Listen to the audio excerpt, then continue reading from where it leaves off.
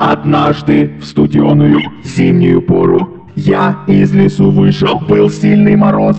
Гляжу, поднимается медленно в гору Лошадка, везущая хворосту воз. И шествуя важным спокойствии чином Лошадку ведет под узцы мужичок. В больших сапогах полушубки овчином В больших рукавицах, а сам с ноготок. Здорово, парнище, ступай себе мимо Уж больно ты грозен, как я погляжу Откуда дровишки из лесу вестимо? Отец, слышишь, рубит, а я отвожу лесу раздавался топор дровосека.